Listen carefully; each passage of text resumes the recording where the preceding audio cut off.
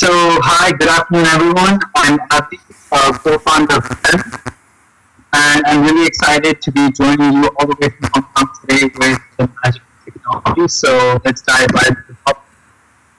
So, here's the problem: we're all familiar with the situation.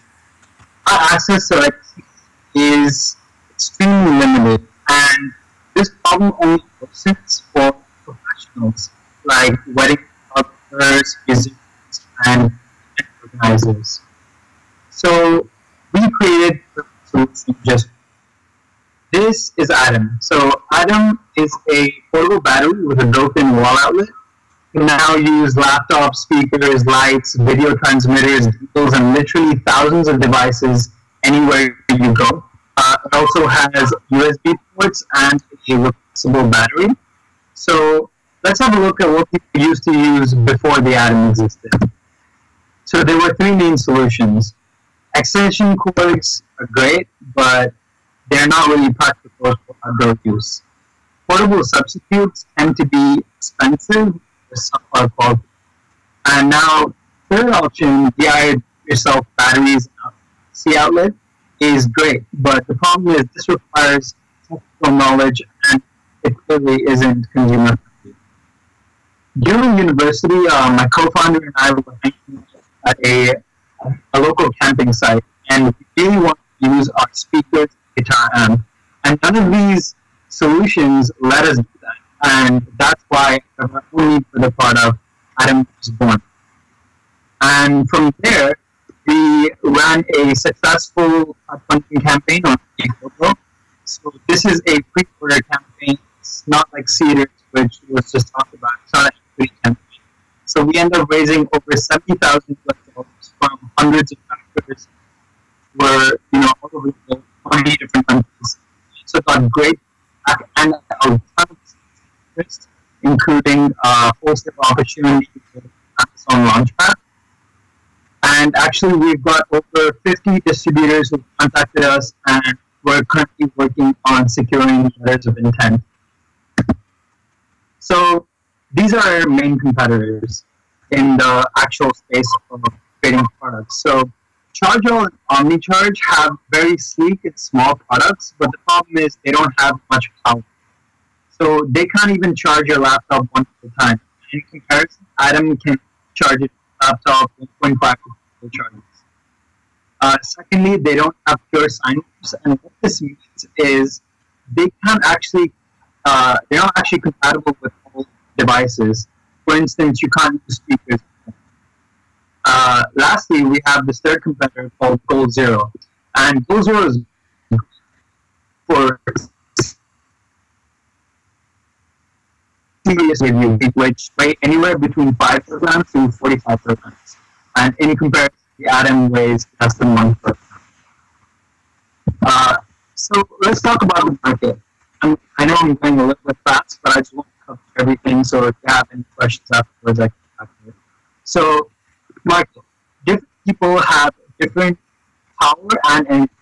So, for instance, a business traveler and a have very different needs, whereas a drone enthusiast and musician may have pretty similar ones. Currently, we're targeting niche markets with uh, this product here, uh, which are people like photographers, musicians, and outdoor enthusiasts who really get the most value from this type of product and have high purchasing power. So this is just our first product. We're right now. Uh, the one is, a, uh, is going to be a much more thinner and less powerful version of the Atom, and it's going to be at 99 USD. That's for people like me and you who just charge our laptops on. And then we're gonna we're also looking into the research for much much bigger serious profit solution, which is going to retail at over 5,000 USD. So using just 10,000 USD uh, of founders capital with no outside investment, we turned that into over $70,000 in pre-sales revenue, and we completed our first production run. So now what we're doing is looking for 320,000 US dollars to help grow our company. The money will be used to scale production of the atom, hire key employees, and complete R&D for our second product. Okay, so right before I get into our competitive advantage, I just want to take a second to talk about this photo. So one of our early factors actually this photo of the atom being used in Ladakh. Uh, it's pretty awesome. It's a beautiful sight. Okay, so what makes us better? Firstly, regarding IP, Atom has two patents pending innovation in heat dissipation and heating. Secondly, uh, and very importantly, our access to China allows us to test, iterate, and manufacture products in a really quick and cost-efficient process. We also have a unique supply chain which allows us to get highly specialized and prevent early-stage copies. So these reasons allow us to manufacture products with Chinese costs while marketing the brand with Western value of uh, quality and design.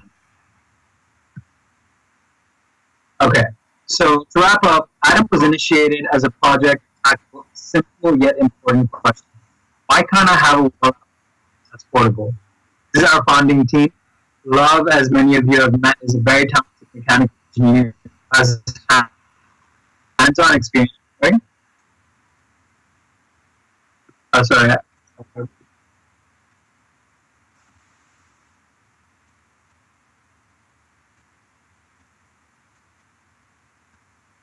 Yeah, can do that.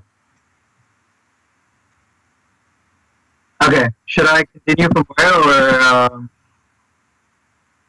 Uh, okay, yeah. So this is our founding team. That is a really talented mechanic. He has hands-on experience with uh, Chinese manufacturers as well as designing products. I'm Avi, and I'm responsible for business development. I have a background in digital marketing and management. We also have an excellent advisory team, as many of you know, uh, Austin Gonzalo and Adam DeSolvo. They've been helping us uh, guide us the right strategy and help us go into a growth stage company. Uh, that's about it. I'd love to answer any questions you have. Uh, hope all of you as well. And I'll switch back to video.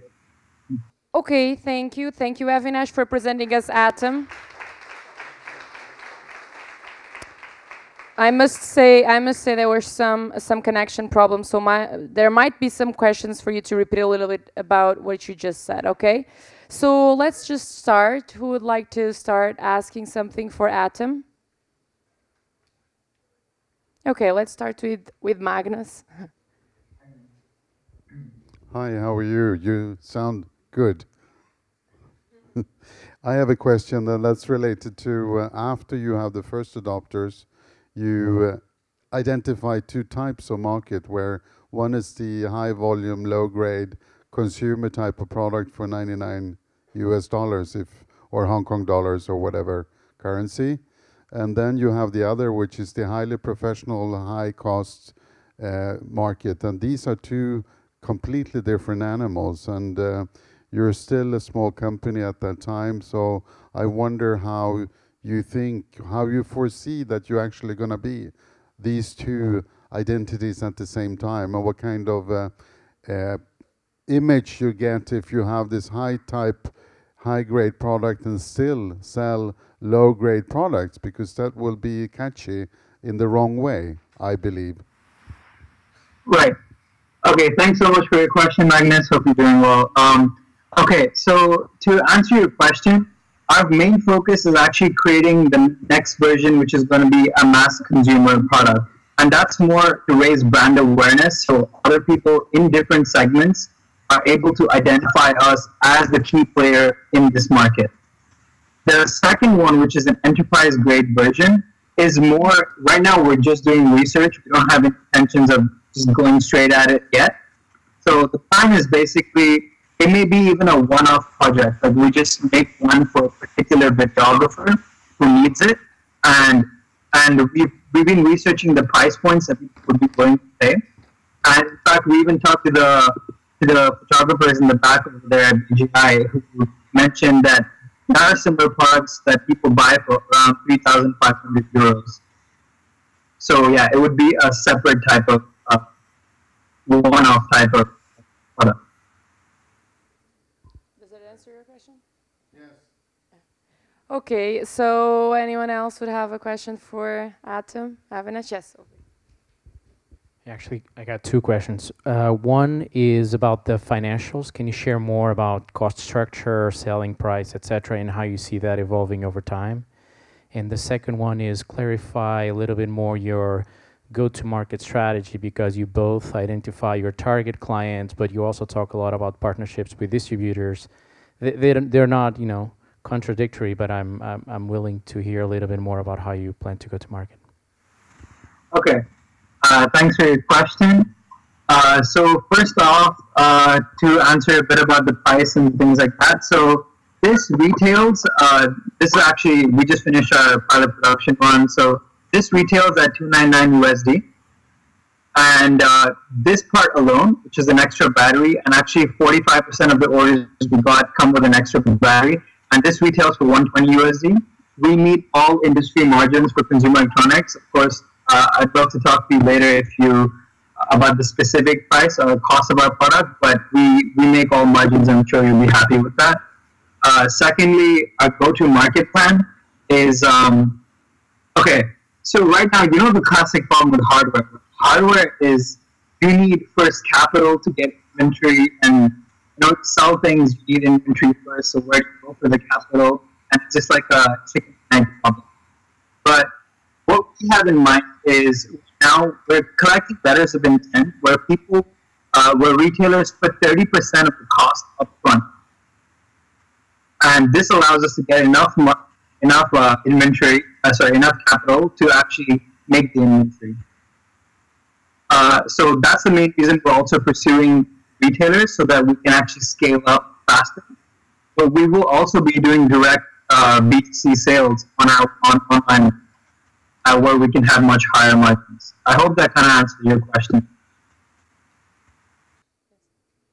I guess, I guess it was a little bit more or less, but, um, if there are no further comments, Avinash, thank you so much to be with us and to still uh, keep hearing the next presentations.